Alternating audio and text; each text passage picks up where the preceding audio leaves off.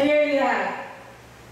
오늘부터 선, 코리아 선교 방송을 통해서 하나님의 복음을 전할 수 있도록 하나님께서 은혜를 주셔서 하나님께 감사를 드립니다. 오늘은 마태복음 6장 9절부터 15절을 본문으로 해서 주님이 우리에게 가르쳐 주신 기도에 대해서 은혜를 나눠보도록 하겠습니다. 본문을 제가 먼저 읽겠습니다. 그러므로 너희는 이렇게 기도하라.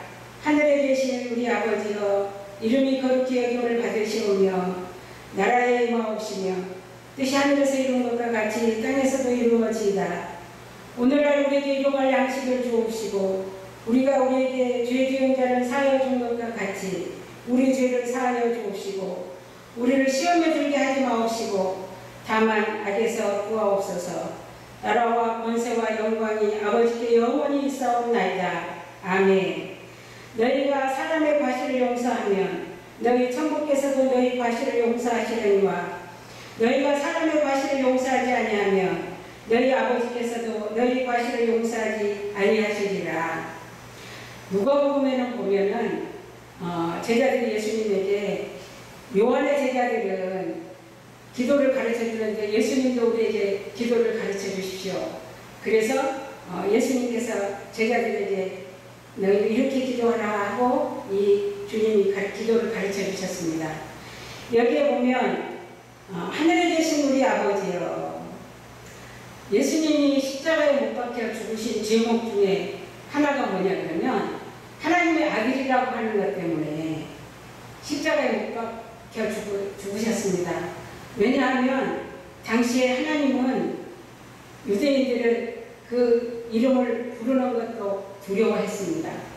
근데 자기들이 아는 대로는 예수님이 나사렛 목수의 아들인데 하나님의 아들이라고 하니까 얼마나 그 제자들이 이 예수님의 말씀을 믿음으로 받을 수가 있었겠습니까?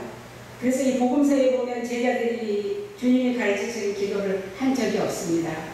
대신 사도행전에 가서 성령이 오셔서 그 이후, 이후로부터 이제 주님이 가르쳐 주신 기도를 하게 됐는데 그게 뭐냐 그러면 하나님이 우리 아버지시라는 것입니다. 우리 아버지.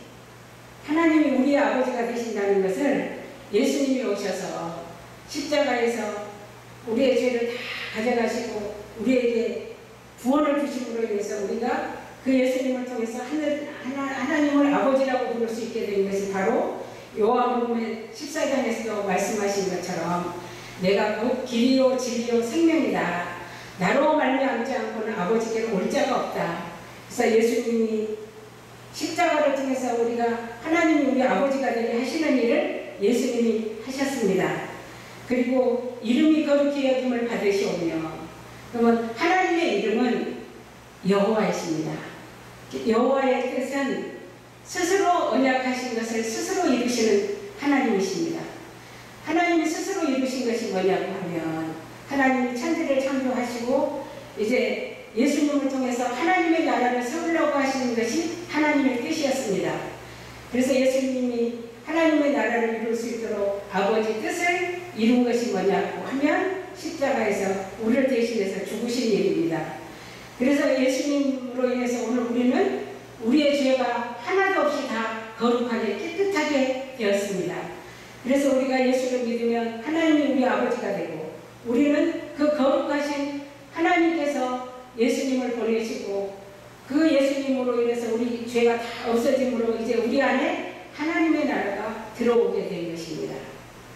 그래서 어, 하나님의 나, 라가 우리에게 임하옵시고 예수님이 어, 누가복음 17장에서는 하나님의 나라가 여기 있다 저기 있다고 못하니 하나님의 나라는 너희 안에 있다 이렇게 말씀하셨습니다.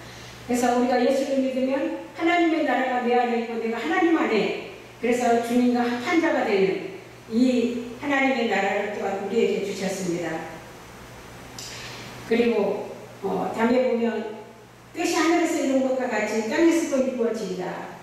예수님이 이 땅에 오신 것은 어느 날 우연히 오신 것이 아니라 창세 전에 이미 하나님께서 예정하셨던 것을 예수님을 보내셔서 구약에서 여호와께서 가라사대 하고 말씀하셨던 그 말씀을 이제 육신으로 오심으로 인해서 십자가에 죽고 부활하심으로 하나님의 뜻을 예수님이 이루셨습니다.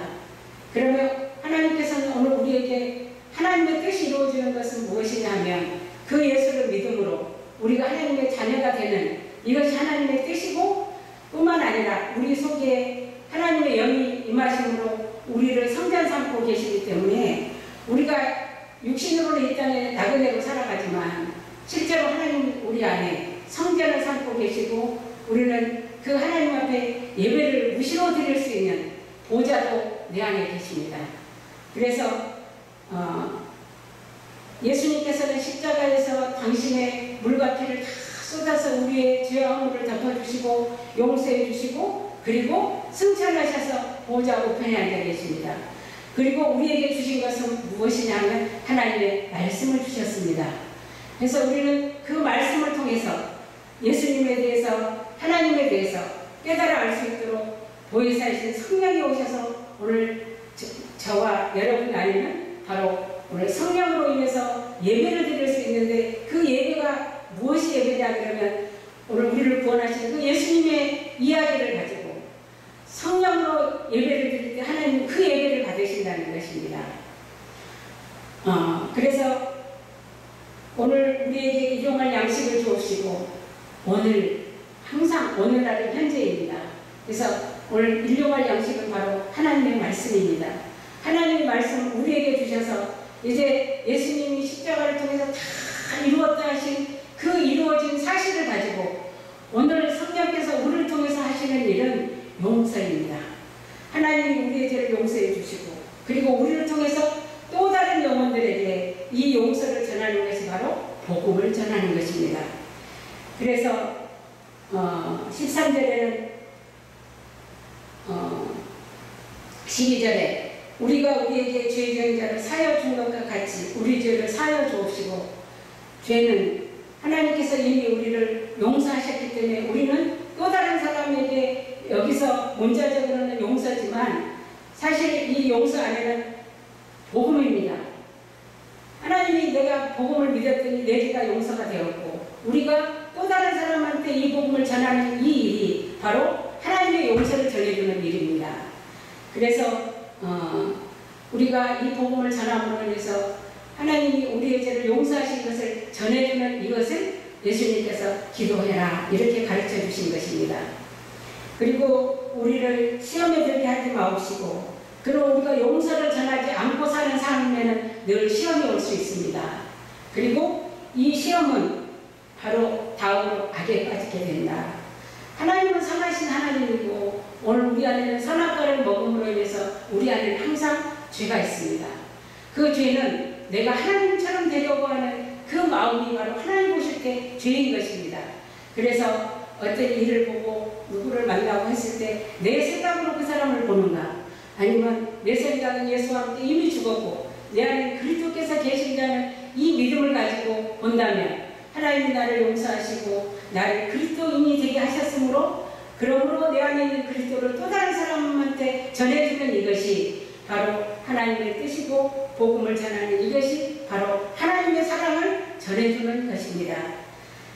어, 그래서 우리를 시험에 들게 하지 마옵시고 다만 악에서 구하옵소서 우리가 이 복음을 전하면 하나님이 우리를 시험에서도 시험도 들지 않게도 하시지만 우리가 악에도 빠질 수, 빠질 수 없는 일은 바로 하나님의 용서를 내 가슴에 내가 품고 또 다른 사람을 용서할 수 있는 이 복음을 전하는 이 삶이 바로 거룩한 삶이 되는 것입니다.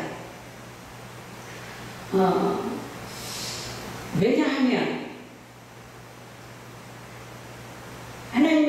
나라와 권세와 영광이 아버지께 영원히 있기 때문입니다. 이제 하나님의 나라가 우리 안에 임하신 것, 그 임하신 것은 오늘 하나님이 거룩하시다는 것, 죄가 없으시다는 것인데요. 우리가 그 하나님의 자녀가 된 우리에게도 죄가 없이 해주셨다. 그래서 우리를 통해서 하나님이 영광을 받으시고 영광은 반응하는 것이거든요. 어, 딸기 나무에서 딸기가 맺힘으로 인해서 딸기가 딸기를 심은 사람을 기쁘게 해주는 영광이 되는 거거든요. 근데 그 딸기를 주신 분은 하나님이십니다. 그런 것처럼 오늘 우리가 죄인 되었던 우리를 예수님이 우리의 죄를 대속하시고 우리를 하나님의 자녀를 삼아주신 것을 내가 믿음으로 받아들이면 이것이 하나님께는 바로 영광이다 그 말입니다. 우리는 구원의 열매가 됨으로 인해서 하나님의 나라에서 자녀가 되는 권세와 하나님 우리를 통해서 자녀된 영광을 하나님이 받으시는데 이 영광은 영원하신 영광이라는 것입니다.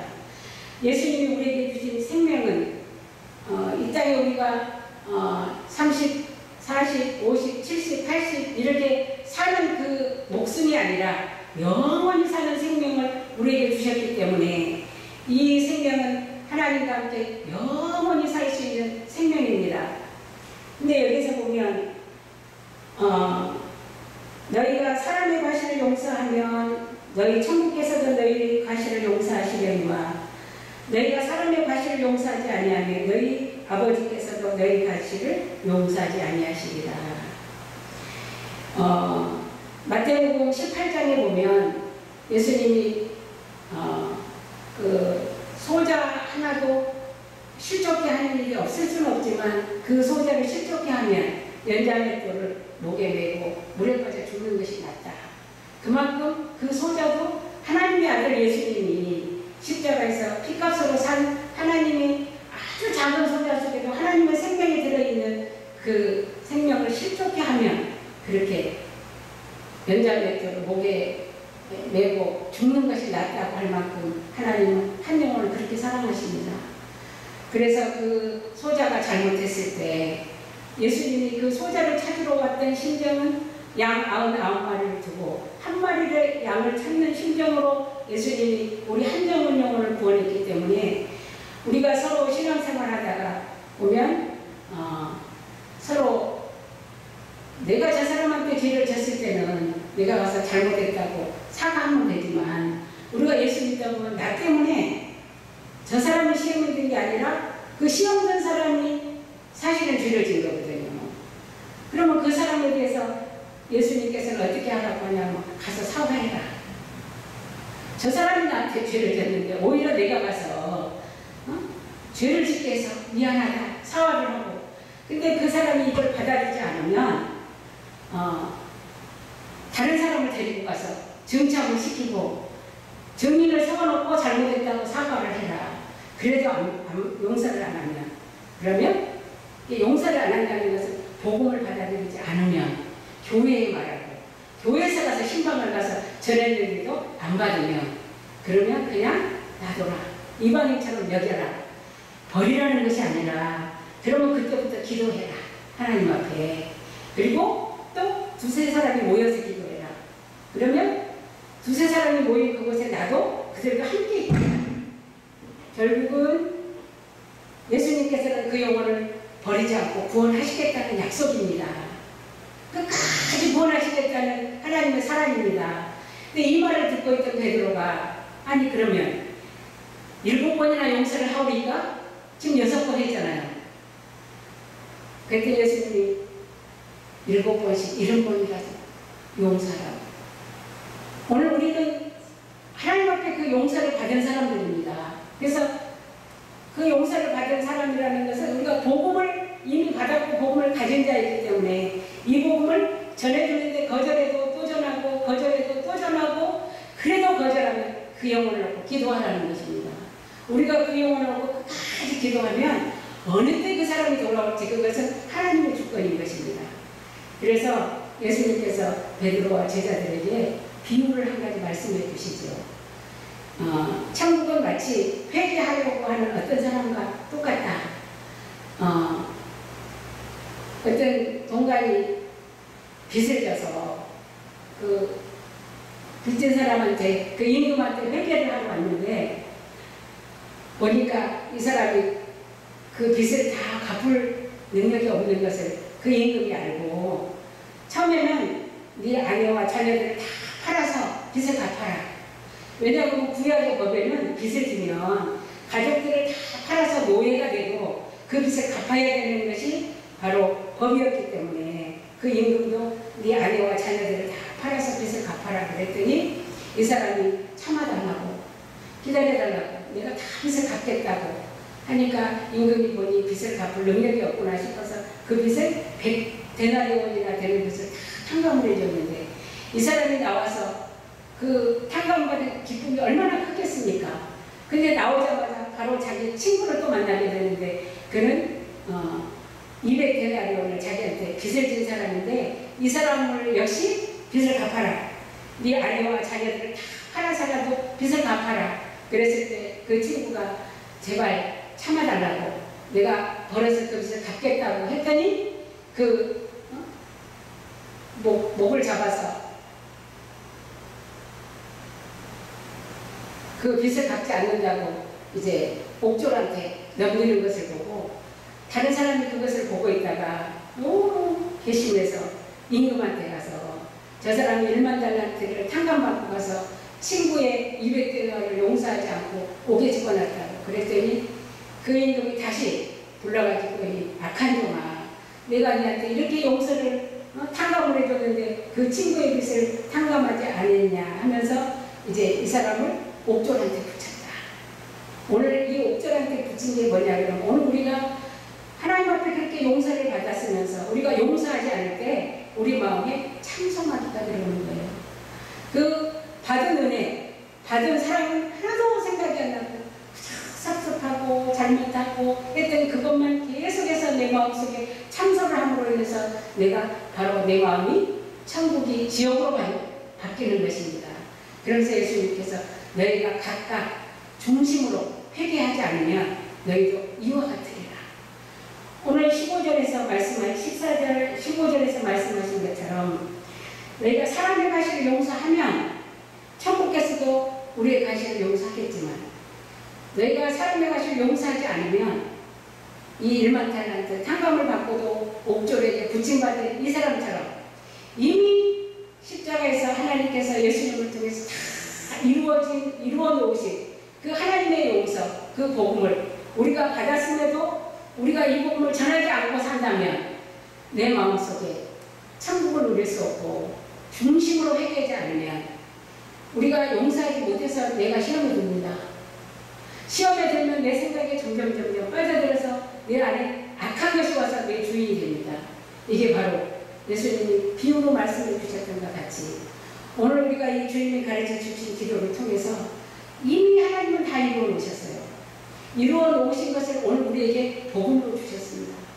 이 복음을 받은 우리는 바로 하나님의 용서를 전해주는 것이 복음을 전하는 일이에요. 그래서 이렇게 코리아 선교 방송을 통해서 이 복음을 전하는 이 복음은 이제 하나님께서 온 세상에 이 복음이 전해질 수 있도록 하나님이 이 선교 방송을 세워주신 것을 믿고 감사를 드립니다. 이 선교 방송을 하나님이 크게 축복해 주시기를 원하고 예수님의 이름으로 축원을 드립니다. 감사합니다.